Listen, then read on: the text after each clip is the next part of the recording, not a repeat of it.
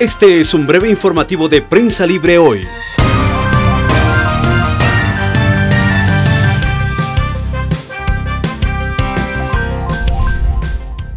14 horas en este miércoles 31 de agosto y en Prensa Libre TV le presentamos la información más importante. Dilma Rousseff fue destituida de la presidencia de Brasil tras un fallo histórico en el Senado brasileño que pone un dramático fin a 13 años de gobierno de izquierda en el gigante sudamericano. Rousseff prevé hacer una declaración a la prensa tras la votación, indicó uno de sus colaboradores. Un final trágico para la primera mujer que llegó a la presidencia de Brasil, suspendida en mayo tras ser acusada de manipular las cuentas públicas para asegurar su reelección en 2014 y continuar con esa práctica al año siguiente.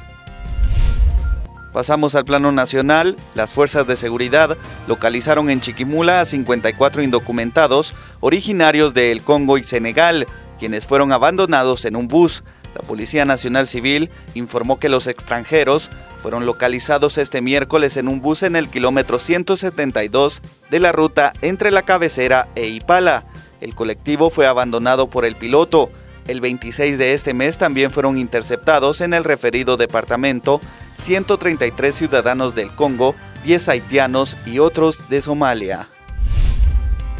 El Ministerio Público y la Policía Nacional Civil allanan este día un inmueble en la zona 7 en busca de evidencia por la muerte de indigentes en el caso conocido como Moisés Gutiérrez. El MP investiga 29 casos de ataques contra indigentes de los cuales 21 de las víctimas han muerto. Los otros 8 resultaron heridos. La semana pasada la PNC capturó a Moisés Gutiérrez Guevara cuando agredía con una piedra a una mujer en la zona 1.